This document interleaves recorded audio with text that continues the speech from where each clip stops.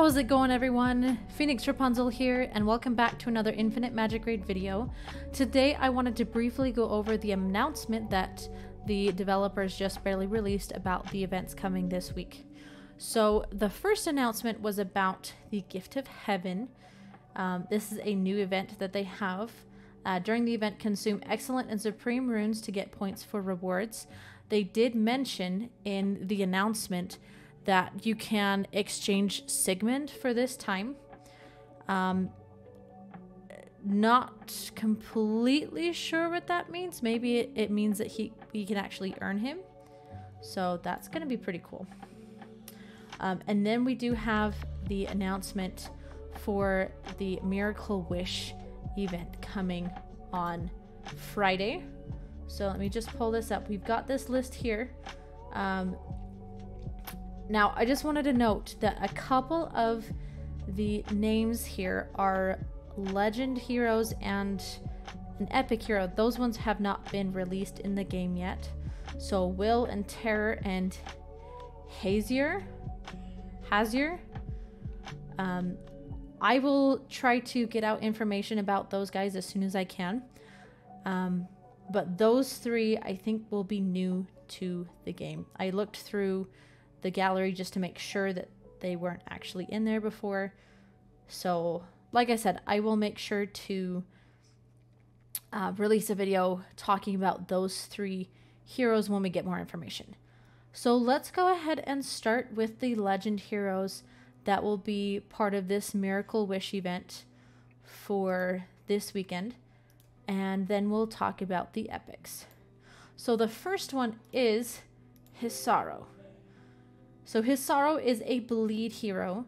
Um, his basic attack has a double hitter, 30% chance goes up to 40% chance to inflict bleed.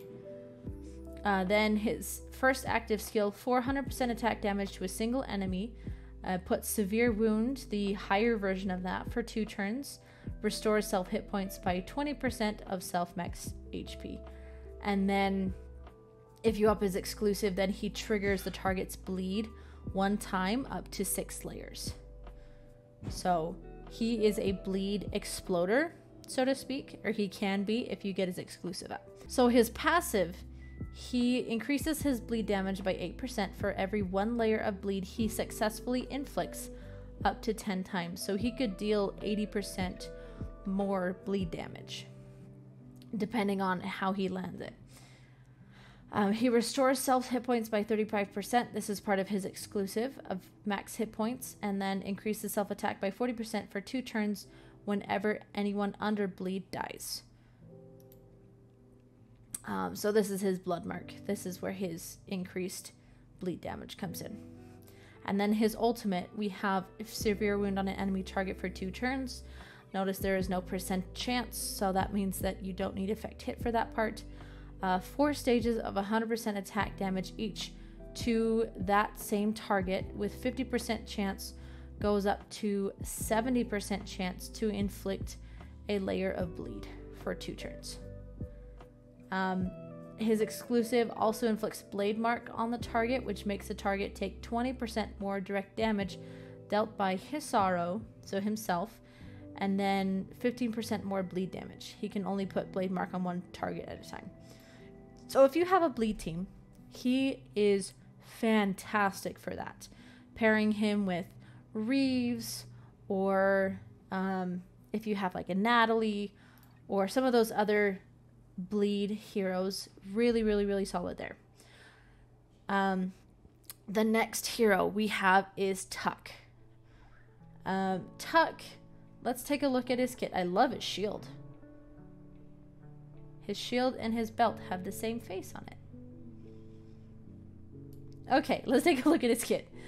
So, damage to single enemy, 7, 7% of his max hit points. Extra 50% piercing rate, which means that it ignores defense. Um, 50% more damage to targets under freeze. It cannot land a crit. So, you can't build him for crit. You have to build him for um, basically for hit points and then 30% chance to inflict freeze on all enemies and all allies for one turn. So it's almost like he just pauses everyone is like, okay, let's. Um, I guess it would be good for enemies because it, it locks them out for a turn, and for allies, it can help them with. Because I don't think, I don't think cooldown is affected by freeze. I could be wrong, but I, yeah, I don't think it's affected by freeze. So that way, if they have a skill that's like on a, it's not like it needs one more turn to to refresh, then he can be like, okay, we're just gonna pause for a second. Okay, you get your skills back. Go ahead and go. And then he gets an extra turn after casting Frostguard. So that paired with his first uh, or his basic attack um, can really it can really hit pretty hard if he deals 50% more damage to targets under freeze. So if they're all under freeze and he he goes again, then it could possibly make a big difference in a fight. Okay, so passive. He's immune to freeze. He gains one layer of icicle whenever enemy target is inflicted with freeze, which increases his damage dealt by 2% up to 50 layers. Up to 50 layers. So that means his damage could basically be doubled if, you know, he goes long enough. Um, then meanwhile, he gains a layer of ice shield, which reduces his damage taken by 2% up to 10 layers. So basically, like an increased damage by up to 100% and a damage reduction up to 20%. Exclusive, let's see, pursues and attacks a target enemy one time when he inflicts, inflicts freeze on them. Ooh. So basic so I wonder how that would work. I don't have him, but I if any of you guys have him and you've got him to E3, I wonder how this would work with his um with his second ability here because he he can basically put freeze on all enemies and there's a, a 50% chance of doing so if you use skill scrolls. So yeah. I wonder if he just does he just like attack everyone if he freezes everyone? Let me know if you fi- if if you've seen that happen. And then his ultimate increases all allies max hit point cap by 25% for 2 turns, grants all allies a shield by 40% of his max hit points for 2 turns. Or no, not his max hit points. Um, 40% of max hit points. So everyone's max hit points. And then cleanses their freeze effects. He additionally grants um, allies 50% effect res for two turns. So not too bad. He's um, he's built to be a tank, but like a control tank, with all of the freeze mechanics built into his kit. Is he possibly worth going for? I don't know. I haven't built him. His kit sounds really cool. But those of you who have him would probably know better than me, so let me know. And then the last one, the last legend hero that's not new in this list is Elik. So, basic attack 180% defense damage, single enemy, 15% chance to inflict stun, increases by 3% for every one layer of buff the target has, up to 15%. So, it could go up to a let's see with skill scrolls it goes up to 25% chance and then it would go up to about 40% so not terrible. Not yeah, not a terrible chance to place a stun especially on the the basic attack increases all allies defense by 60% and tenacity by 30% for two turns so increases defense and then the tenacity actually reduces uh, crit damage. And then he also can grant all allies resist debuff for one turn if you get his exclusive up. Uh, passive reduces his crit damage received by 28%, transfers debuffs received by the ally with the highest attack to himself. This effect can be triggered up to three times until the start of Elix's next turn. Uh, steals two layers of a random buff from the enemy target with the highest attack at the beginning of the turn. So basically, he's like, oh, you have like attack down on you. Let me take that from you. And you're good. I'm just going to hang on to this and you go do your thing. So, kind of cool mechanic there. And then the ultimate grants all allies. I can't talk. Grants all allies consolidation two for two turns. So he's got. It seems like he's got quite a bit of um, damage reduction built into his kit. Um, he can also get a shield on there. So, but yeah, redu- reducing crit damage. This is reducing just damage in general, putting defense up, tenacity up. Um, so pretty solid. I would say pretty solid defense. Um, would I go for him? Maybe. If nothing else for the like the damage mitigation and everything, whether for himself or for um, the rest of the team. So those are the three legend heroes that we currently have in the game. Like I said, I will release a video as soon as I can about the the three new heroes coming in. So let's jump into the epic heroes. Our first one that is not new to the game is Mori. So Mori, Nameless Brotherhood. We've got attack up one on uh, the first, or on the basic attack, and that just goes on himself. 160% attack damage. And then first active skill, 280% attack damage to a single enemy, 30% chance to put on speed down 2, and then grants self stealth for one turn. So he can't be targeted by um, by enemies, like specifically when he has stealth on. And then 40% chance to attach 50% leech rate when launching direct attacks. So whenever he attacks someone directly, there's a chance of him also increasing his leech rate, which means that he heals by a percentage of the damage that he deals. Uh, exclusive, he increases his turn meter by 40% when he um, inflicts a kill. So when he takes someone down, that's when his turn meter is boosted. And then restores self hit points by 200% of attack when granted with stealth. So if you build his attack up, which it sounds like you really need to build his attack up, then he can, every time he puts on stealth, which is most, I think mostly in this first active skill here. Let's see. Yeah, his ultimate doesn't have it. But if you pair him with someone who also does stealth, for example, like a Pollen, who puts stealth on all allies except for himself, then he basically has a built in heal to his kit. And then ultimate, we have 200 to 400% attack damage to all enemies and reduces their turn meters by 20%. Fewer the targets, the higher the skill damage. So that means if you have only one target, then it's going to deal that 400% attack damage. If you have five, then it's going to only deal like 200. Um, and then exclusive additionally reduces turn meter by 10%. So instead of just reducing turn meter by 20, then it goes up to 30. So, so not too bad. I personally haven't messed around with Mori, but I mean, with him, I feel like him pairing, or he would pair really, really well with like Pollen because of that built-in mechanic with this with um with stealth. But I mean, you need him at an E3 in order to do that. Luckily, he is an epic, so getting to that E3 um, isn't necessarily going to be that difficult. So, yeah, not too bad.